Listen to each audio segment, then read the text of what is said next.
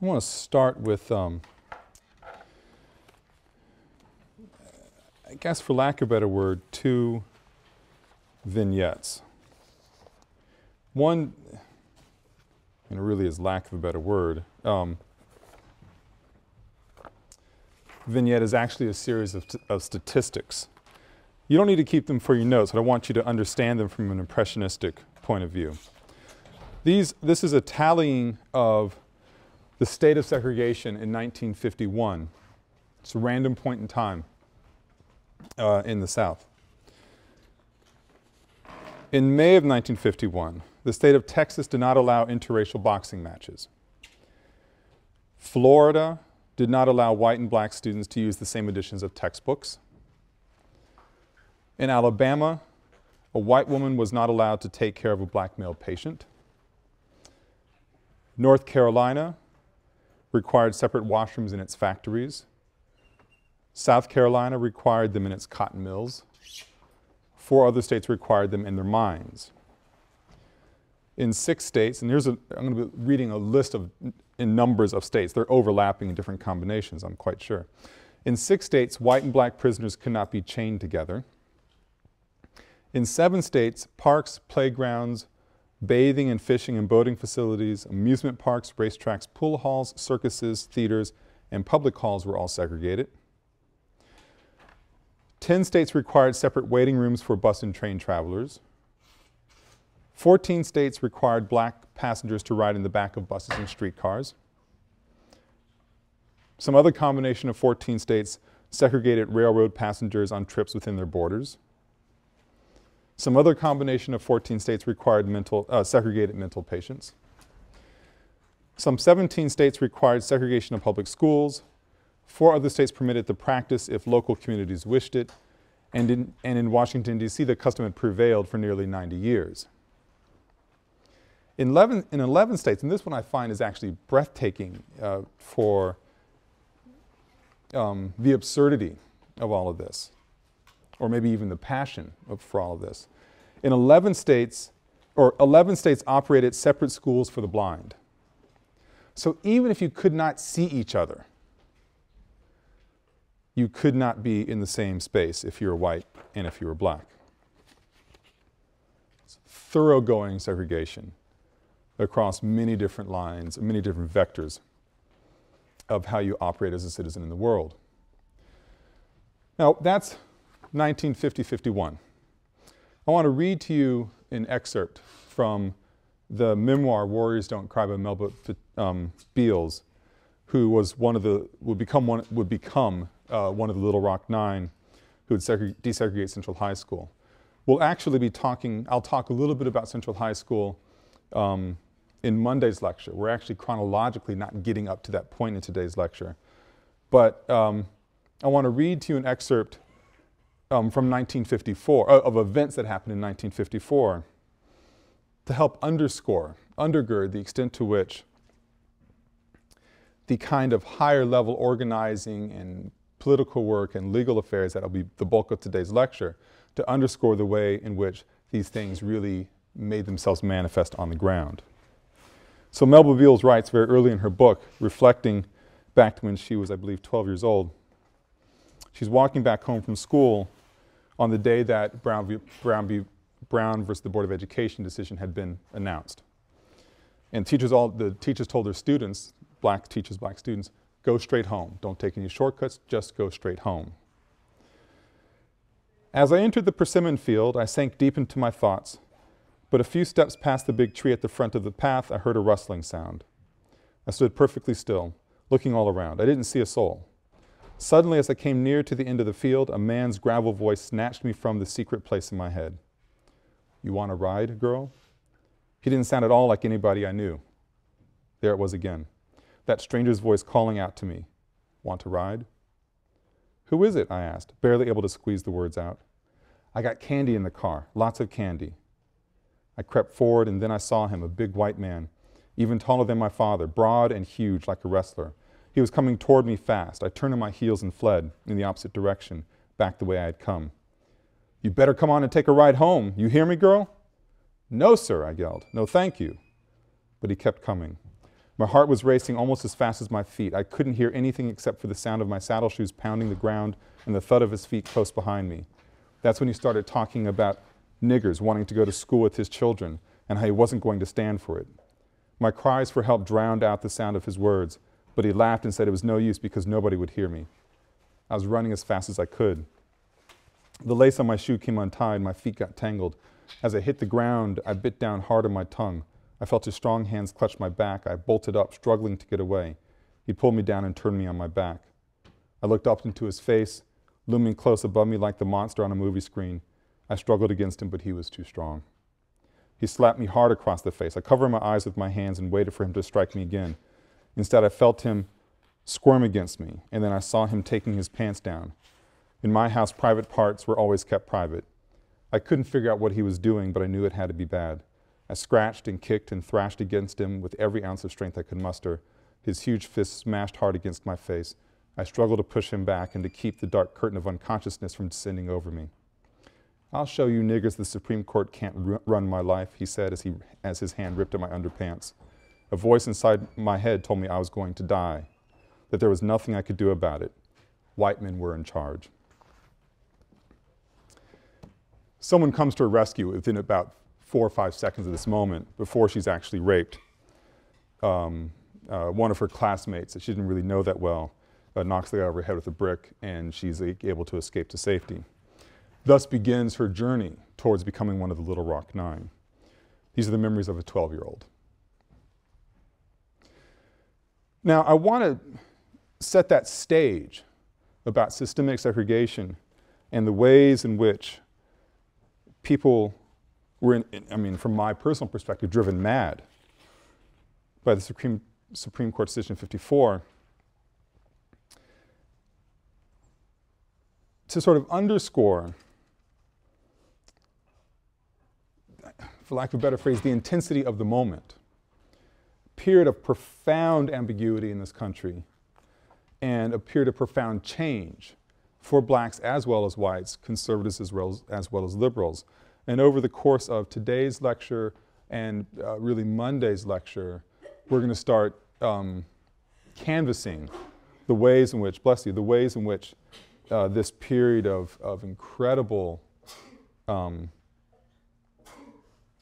instability in the United States is made, was felt on many different levels in different ways. So much of today's lecture is context for much of the, for going across the 1940s up to Brown v. Board.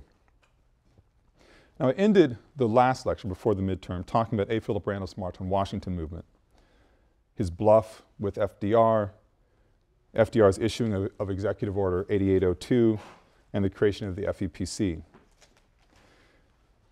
I was trying to cram a lot of things into the lecture. Give me two minutes to talk about the FEPC very quickly and move us uh, into the 1940s. The FEPC, Fair Employment, Fair Employment Practices Commission, Committee, held high profile hearings in major cities about segregation in um, uh, defense industry factories.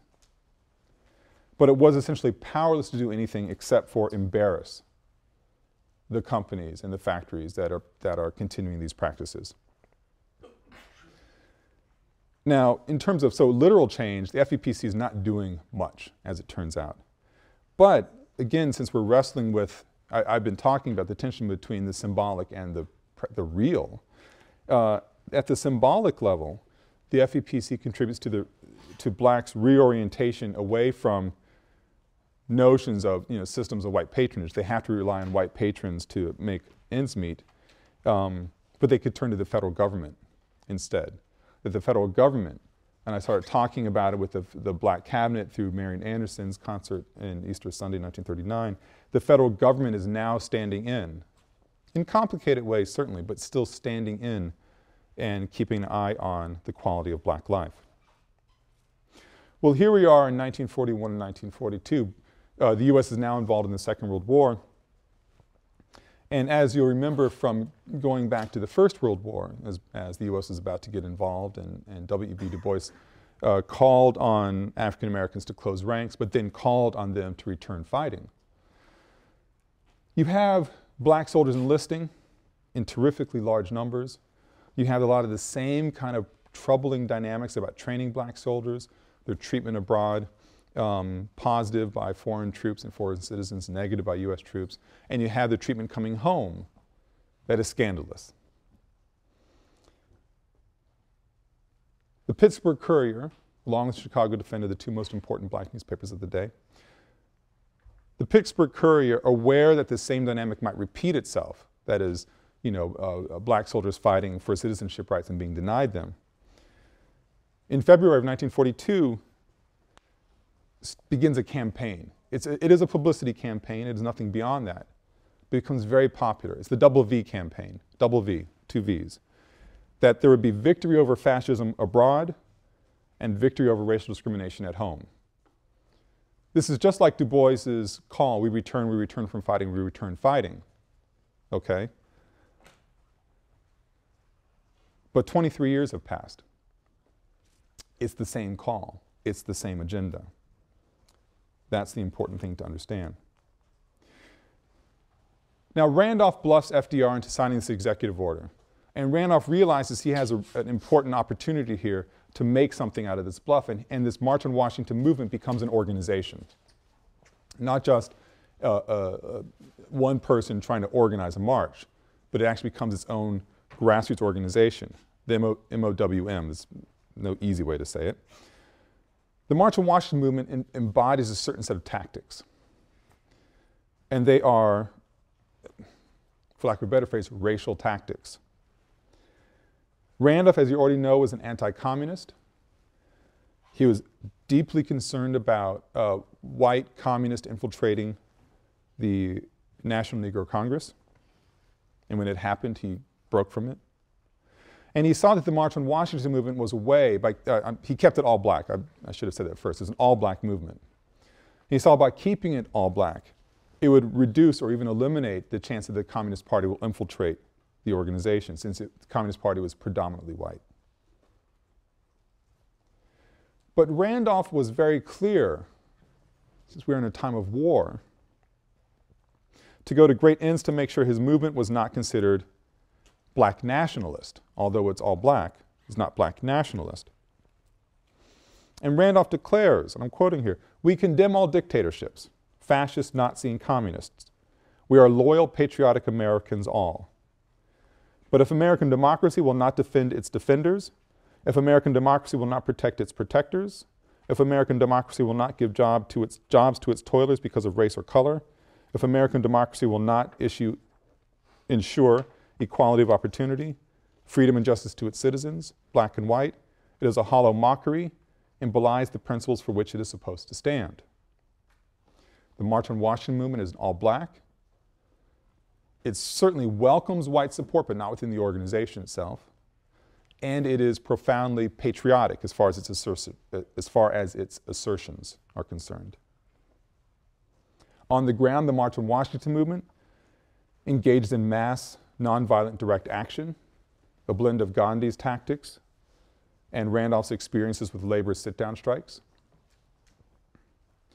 He believed in small direct actions, you know, going into one region or, you know, a part of the country with small and highly symbolic acts of resistance. You know, it has a, it, it's sort of a hodgepodge of, of, of, of groups operating under its banner doing different things in different places, but all embracing an all black agenda, an all black constituency, mass nonviolent direct action. There's another group that's founded in 1942, a year after the March on Washington movement, that embraced this secular, uh, that embraced a different agenda from the March on Washington, a different organizing agenda, pardon me, from the March on Washington movement, it was um, interracial civil rights organization called the Congress on Racial Equality, CORE, Congress on Racial Equality, an offshoot of the Pacifist Fellowship of Reconciliation. CORE was founded in 1942. Its director was James Farmer, and one of the principal organizers a man, was a man named Bayard Rustin, someone we'll hear more about in the next couple of weeks. CORE and the March on Washington movement were two of the main groups operating in the, in the 1940s to educate blacks to use nonviolent direct action. So they shared that strategic um, logic. CORE was interracial, March on Washington movement was all black. The March on Washington movement built its base on the Brotherhood of Sleeping Car um, Porters and Maids Union, using Randolph's organizing skills, and really try to reach out to lower class blacks as well. CORE was significantly smaller than the March on Washington movement, and it was focused on essentially you, the demographic you represent, college-age student, highly educated, interracial, and essentially elitist. CORE's mission statement says that it has one purpose, to eliminate racial discrimination, and it has one method, interracial, nonviolent direct action, and that CORE's style was to test, to negotiate, to confer, and then to sit in. Test, negotiate, confer, and sit in. Now, I'm going to move away from these two groups rather quickly, but I wanted to, you to understand these different organizing logics, although they're sharing the same strategic mode of engagement.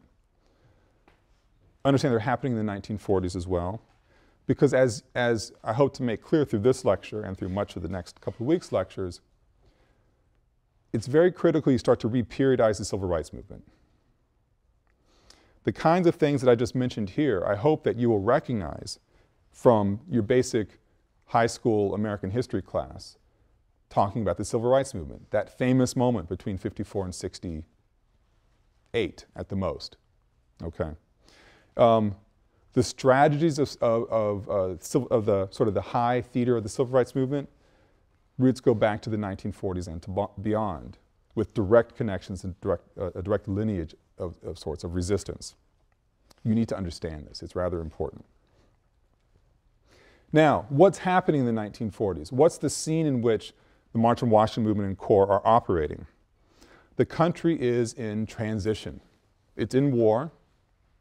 As I already mentioned, uh, the Great Migration happening in the first two decades of the 20th century. There's another migration happening now that dwarfs the Great Migration, of migration of African Americans, many of whom are following defense industry jobs out west and in the north. Essentially, the black population you know of in Los Angeles is there because of, of um, defense industries jobs and factory jobs during this period of time. This is the moment over the next decade when African Americans move from being predominantly a rural population, I think it's about 40% at that point, to over uh, 50 or 55% urban. So it's a transition, profound transition for African Americans as far as demographics concerned. Now with this migration, like the first Great Migration, you have crisis.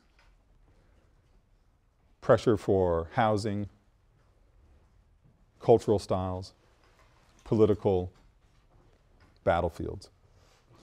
1943 is a spectacular year for crisis. You have race riots happening in the summer of 43 in 47 different cities.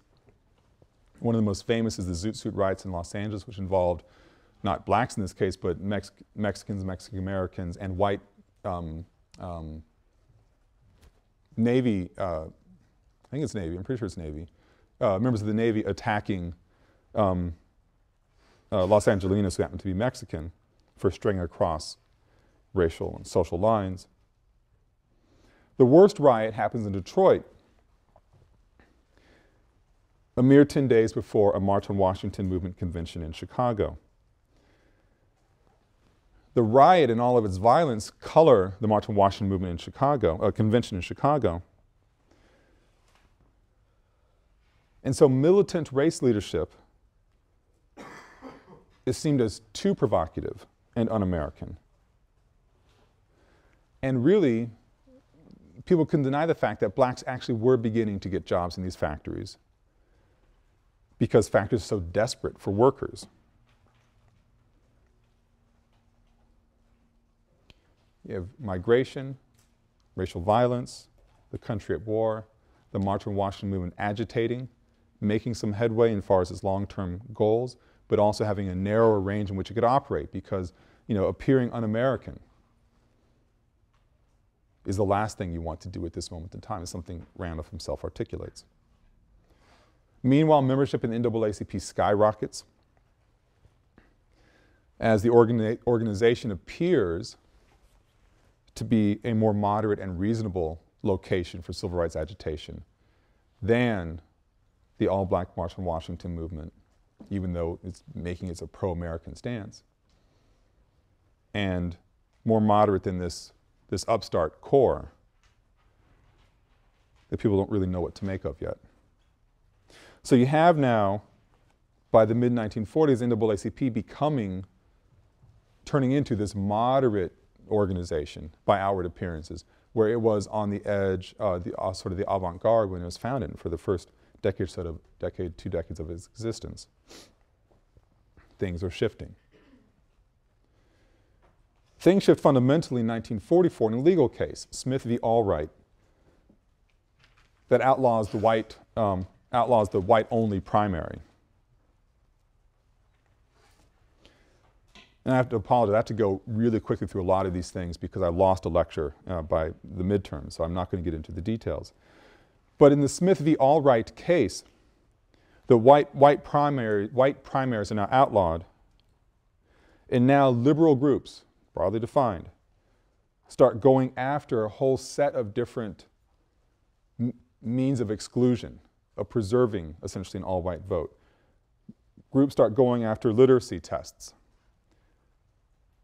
that were, that were at the, the point of absurdity where a registrar could actually ask somebody, how many bubbles are there in a bar of soap? As a way to exclude them. People knew they had to act in terms of trying to expand the right to vote or access to the ballot box, ballot box by just looking at Mississippi. In Mississippi, you have over 350,000 blacks who are eligible to register, register to vote. Mississippi has a huge black population. And of that 350,000, only 2,500 managed to vote in 1946. It's an all-white vote because of the, all the various ways in which Mississippi registrars of voters are being told to eliminate the black vote. In fact, very famously, Senator Bilbo from, from Mississippi, um, who's a virulent racist, would go around organizing um, registrars of voters of um, uh, before an actual uh, election night, telling them all these different ways in which you can eliminate the black vote, and said, you know, and if, if worse comes to worse, you all know the most effective strategy is the night before the election. And you know what I mean. I mean, essentially calling for them to rally the Klan to eliminate um, black vote. Again, the country's in under incredible stress because of these transitions going on. Between 46 and 48, at the presidential level, some more radical changes are happening. FDR had died in office already, now Harry Truman is the president, and he's fighting for his political life. The Democratic Party is on the verge of being split. Recognizing that there's incredible dissension amongst the Democratic ranks, other Democrats are very unhappy with the trends in what's happening in the country, supported by the federal government, that entity that Black saw as a place of salvation. Truman doesn't know what to do, and so he actually lets, he, he sort of throws a bone to his antagonists in the Democratic Party and lets Congress kill the FEPC. So now there's no more publicity campaign machine to sort of embarrass factories into employing African Americans and practicing non-discrimination policies. Truman lets Congress kill the FEPC, but knows he needs the black vote to win election. It was clear when FDR got elected in 1944, it was clear that the black vote is what brought him, got him into office, and Truman can't lose it. So Truman raises the stakes after killing the FEPC and appoints a distinguished panel to serve as the President's Commission on Civil Rights, which would recommend um, over time more adequate means and procedures for the protection of civil rights for U.S. citizens. In October 47, it issues its, its report called To Secure These Rights, a landmark document. to secure these rights defined the nation's civil rights agenda for the next generation. The Commission noted the many restrictions on blacks and urged that each person, regardless of race, color, or national origin, should have access to equal opportunity in securing education, decent housing, and jobs. Among its proposals, the Commission suggested anti-lynching and anti-poll tax laws, a permanent FEPC, and strengthening the Civil Rights Division of the Department of Justice.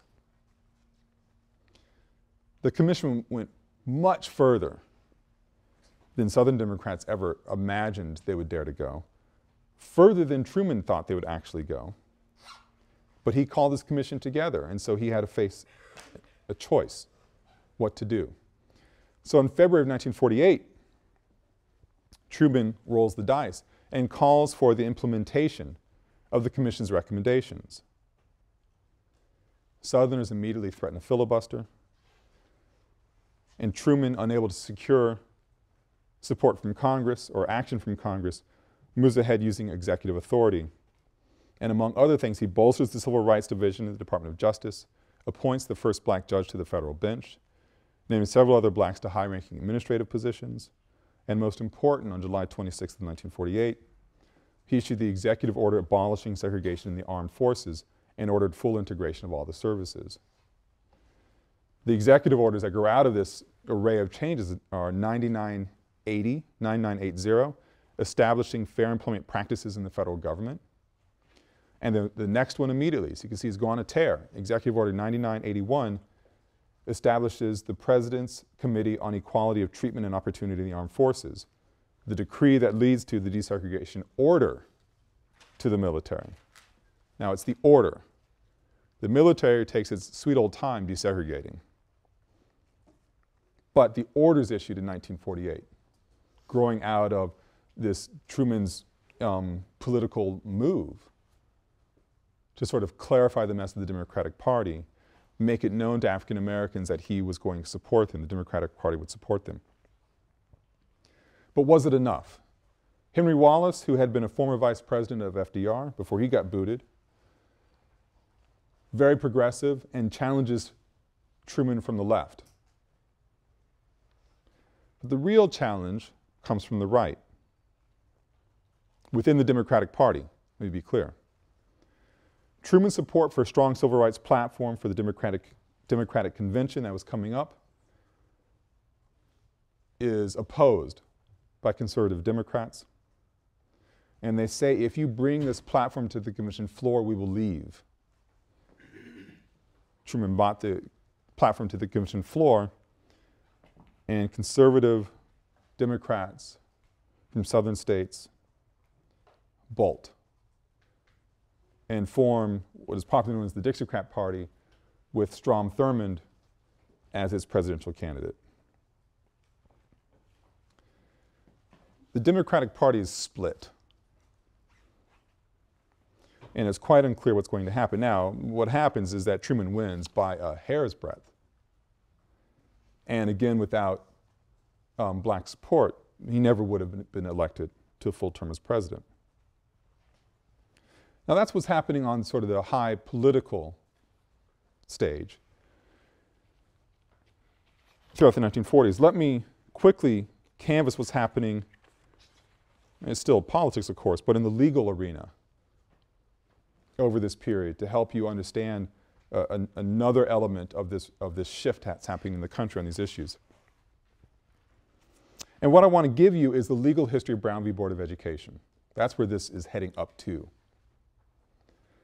The legal history begins at Howard University Law School.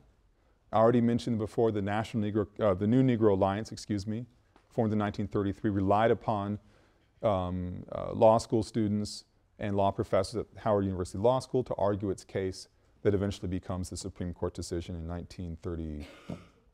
Got my notes. I'll just guess 37. I'm blanking right now. Um, but the um, The battle begins at Howard University Law School.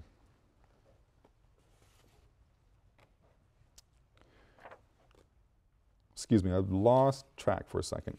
There we go.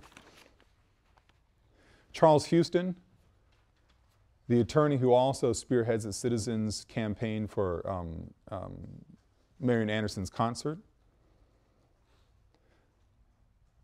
He's brought in to head up the law school in the late 1920s to bring it up to fully accredited status.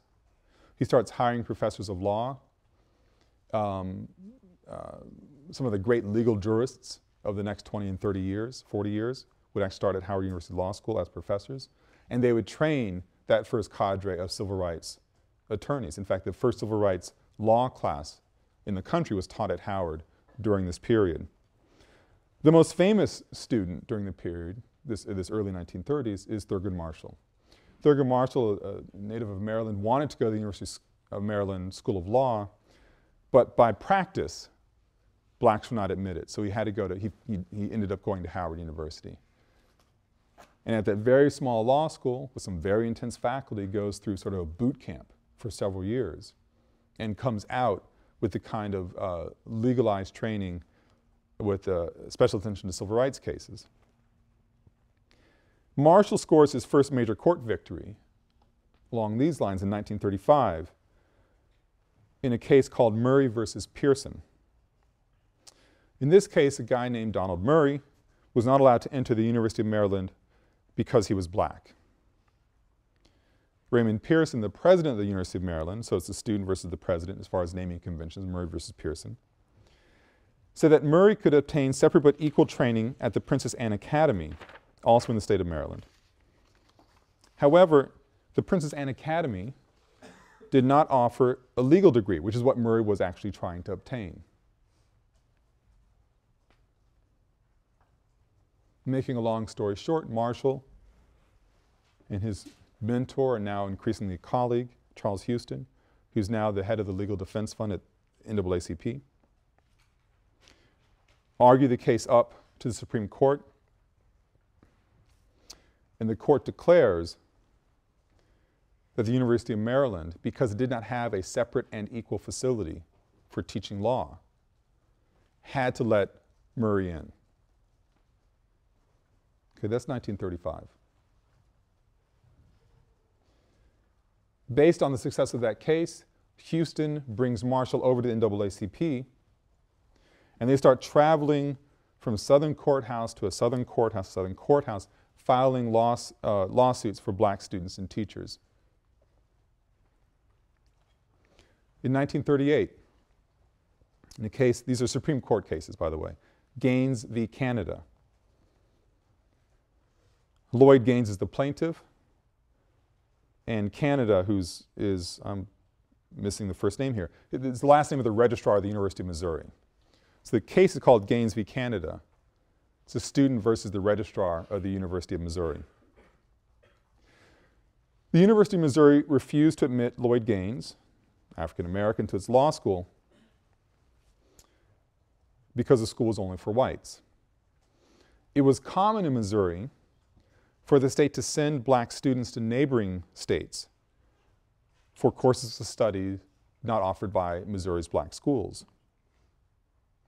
Since Missouri did not have a separate but equal law school for blacks, the Supreme Court declares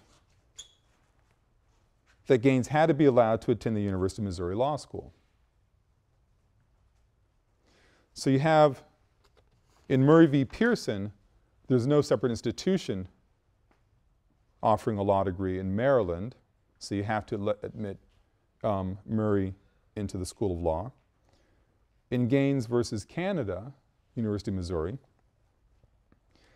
the idea of shipping a student out of state, which is not just a Missouri practice, by the way, a lot of southern students, states did this, was ruled unconstitutional. The state had to provide state-funded, separate but equal legal facility. Now, I mean, one might ask, why, is, why would a state even, you know, provide these fellowships, scholarships to get students to get educated at law school, if not in their own state? The thinking was, you got them out of the state, they would stay out of the state. So the South was trying to export black legal, potential legal talent to northern places mainly to get that problem out of their state. They'd pay for them to leave. The Supreme Court says can't do it. That's 1938. if I didn't mention that. Houston and Marshall keep plugging away, filing the lawsuits, poking at the system. And in 1946, they take on the case of a woman named Ada Sipuel. In 46, Sipuel had applied to the University of Oklahoma Law School and was denied because of race. And in 1948, the Supreme Court finally rules that Oklahoma had to provide instruction for blacks equal to that of whites. So this is now, this, they're not following, they're not breaking new ground here, they're following a precedent that um, was there in the um, Donald v. Murray, bounded by Gaines v. Canada, so you can't ship her out someplace else. So Oklahoma says, all right, well, we're going to comply. We're not going to admit her to our law school, to the white law school. We'll build a law school for her. And so in a few months' time, the state of Oklahoma creates the Langston University School of Law, located at the state capitol, thus requiring further litigation to demonstrate that the law school was inferior to the University of Oklahoma's law school. I mean, the lawyers were, were claiming you cannot build a law school in a few months, and it was just done in a few months, designed to educate blacks in the state and suggest that it's even near equal to what the University of Oklahoma's already established law school provides. You don't have the resource, they don't have the access, they don't have the training available to them. So further lit litigation ensues, and in 1949, Oklahoma, the University of Oklahoma decides to admit Sipuel, thus breaking the color line for the School of Law there.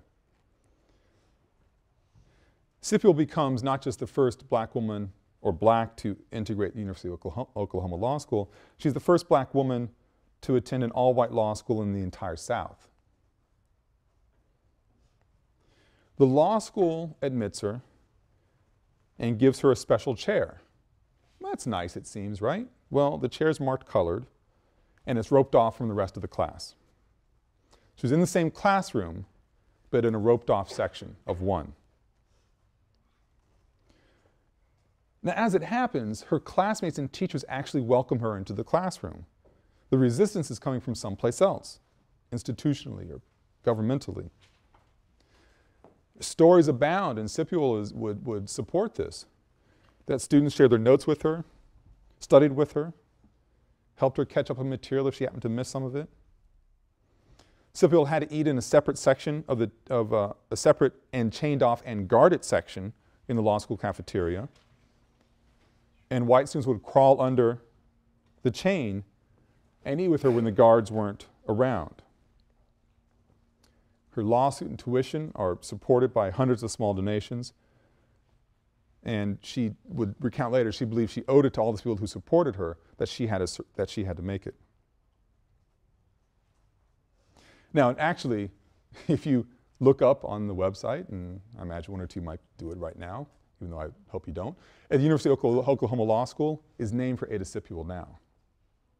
This is also a generational change of another kind of order. In any event, the important thing about all these different cases, these three sort of landmark cases, is they shared some things in common. They're all about law schools. They're all about law schools.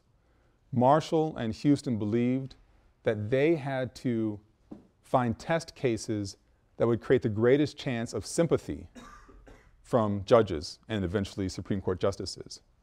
And so they thought by bringing to their attention, to the judge's attention, people who wanted to be like them, study the law, and people who, and this is important, and I'll speak more about it on Monday, who were astonishingly good students. They had to be perfect students. By bringing incredible students in front of them who are trying to become lawyers, these judges might be, you know, thought, well, gosh, this really is a silly system. We need to find some other way, other way around it. So that's one part about it. It's just about, it's just about access to law schools.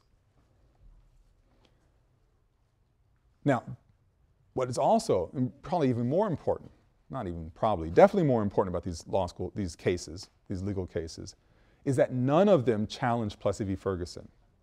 All of them are articulated upon the grounds of there is no separate but equal, equal institution for these black plaintiffs to attend. In Maryland, in Missouri, in Oklahoma, in each of those cases, they're saying there's no separate but equal institution. Oklahoma tried making one, it wasn't equal enough. It was separate but not equal. So these, this is a, a nice and slow and gentle, I mean, according to them, approach to try to break down segregation in higher education. Based on the success they're meeting with the law schools, they start going after graduate schools. So professional schools into graduate schools. And then they start, I mean, and basically the writing is now on the wall. People see this. They realize the trajectory of these attorneys is heading sort of downward in a sense, hierarchically. And the next battlefield is going to be secondary and primary schools. Southern states recognize this and feverishly start trying to improve black schools, which were horrible. I mean, the, the statistics are kind of shocking about how poorly funded these schools were. Um, you know, only used textbooks, no transportation. Um, southern states try, start trying, pouring, pouring money into these schools, trying to improve them so they could actually survive a test of separate but equal. But they're so bad they can't catch up.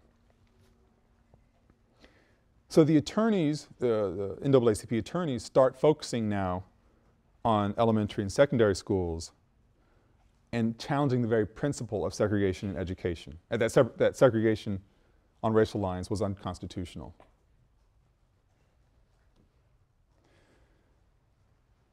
they, as they're going around, again, setting up these test cases, there are five cases all happening at the same time that rise to the Supreme Court's attention. The Supreme Court bundles them together. There are cases in South Carolina, Virginia, Kansas, Delaware, and District of Columbia. They bundle them together under uh, uh, Brown, the father of two girls integrating, trying to integrate schools in Topeka, Kansas. But that's, this is uh, one case representing many other cases. The Attorney General of the United States actually calls for the end of segregation. But the reasoning is revealing. He wrote that racial discrimination furnishes grist for the communist propaganda mills and it raises doubt even among friendly nations as to the intensity of our devotion to the democratic faith. He's not talking about, hey, we need to educate our citizens. It's like, this looks bad on the international scene. It's embarrassing and it's, it's affecting negatively our potential to make change around the world. Cutting to the chase, Brown versus the Board of Education makes it to the Supreme Court, and the ruling is offered in May of 1954. Earl Warren, the very new Chief Justice, writes the opinion for a unanimous court that says the separate education of facilities is inherently unequal. Therefore, we hold that the plaintiffs and others similarly situated from the actions have been brought up, brought, I mean, this is the bundling, are by reason of the segregation complained of deprived of the equal protection of the laws guaranteed by the 14th Amendment. Separation of the races in facilities is inherently unequal based on equal protection clause in the 14th Amendment. Now, very quickly, a few words about Earl Warren himself, because it's actually fascinating. He's a, while, the while these cases are being bundled and brought up through the, system, he's not the Chief Justice. He's appointed to that position. He's not even on the Supreme Court. He's appointed to that position after the Chief Justice, Fred Vinson, dies. Someone, jurists, legal, uh, legal historians think was probably going to go against Brown. Eisenhower, now the President of the United States, appoints what others thought a mere politician to the Supreme Court, thus angering other associate justices who thought they were going to be the next Chief Justice. And Warren would actually go on to become a great mediator on the court using his political skills and becomes, on, uh, beco becomes a great civil rights jurist someone Eisenhower would call the greatest mistake of his presidency, appointing Warren to the Supreme Court. Now, Warren himself did not have a sterling civil liberties record. In fact, it was pretty horrible. When he was the Attorney General of California in 1942, he led the move to detain and then inter Japanese Americans. Uh, and um, as he told a conference of his fellow governors in 1943, his first year as governor of California, if the Japs are released, no one will be able to tell a saboteur from any other Jap. We're now producing approximately half of the ships and airplanes of the country on the Pacific coast. To cripple these industries or the facilities that serve them would be a bloody, a body blow to the war effort. We don't want to have a second Pearl Harbor in California. We don't propose to have the Japs back in California during this war if there is any lawful means of preventing it. This is one of the great civil rights justices speaking before he was elevated to that position. So people doing some basic psychoanalysis, armchair psychoanalysis, saying Warren is trying, I mean, is horrified in retrospect over what he did in a moment of war, what he felt was right at the time, to deny citizenship rights to so many people, and was trying to sort of cleanse himself. Now, there's much more to be said about Brown versus Board of Education, the legal court case. Um, but uh, this part is important to know in the sense that Warren comes in out of the blue. It probably changes the future of the decision. The, the, if you look at justices' opinions leading up to Brown, it seemed at best there might be a split in the court, if not a denial. But Warren said, no, we are going to be active, essentially, and it must be unanimous. And he basically browbeat the associate justices to line up behind him to offer this ruling. A watershed moment, thus closing the door on the constitutionality of separate equal articulated in Plessy v. Ferguson at the end of the 19th century. Now, the Supreme Court says that this is unconstitutional, segregation in, in, in education. But how are you going to change it? This is probably one of the most, this may be the most cruel but important part of Brown v. Board of Education is that it's remanded back to local districts to figure out the best play, best way to desegregate. The schools. South Carolina, Georgia, Mississippi governors threatened to abolish public schools as a result. We'll just close all the damn public schools because the Supreme Court is only talking about public places of accommodation. A year after Brown is articulated, it comes back with what people call as Brown 2, when the Supreme Court sends these cases back to the local, local sends the cases back to the courts of origins and in deference to local customs and familiarity says that these things should proceed with all deliberate speed. One of these wonderfully vague, damningly vague Supreme Court edicts. All deliberate speed. Many people thought, like really quickly. Other people thought, let's deliberate for a long time. Speed, after all, is really quite relative. There are many other immediate ramifications or responses to Brown v. Board and its ruling in 1954 and 55. You, we began the lecture with one of them, with Anna, um, excuse me, Melba Beals, as a young girl about to be raped because the Supreme Court had enraged this white father that is going to change the way this, the world looked for him. We'll talk more about other ways of um, resistance in high political theater and Gothic violence in the wake of Brown v. Board when we pick up on Monday. Thank you.